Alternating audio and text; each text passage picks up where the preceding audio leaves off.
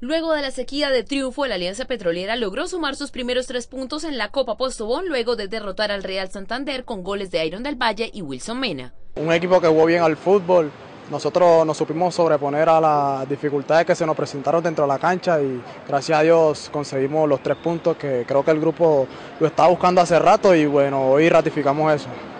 Bueno, a principio con mucha ansiedad, tenía rato que no jugaba un partido oficial y le pedí mucho a mi Dios y eso lo hizo.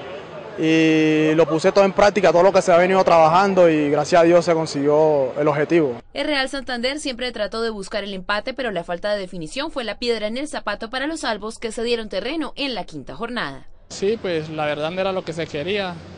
Eh, igual, pues no es excusa por lo que veníamos, eh, vinimos a jugar con un grupo muy joven, pero para eso los tienen ahí.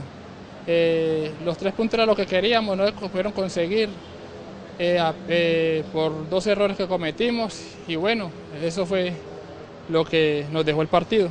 Real se mantiene en la cuarta posición con tres puntos. Alianza tiene la misma cantidad de unidades, pero es último del grupo C. En la próxima fecha, los Albos reciben a Chico y los aurinegros visitarán al Cúcuta Deportivo.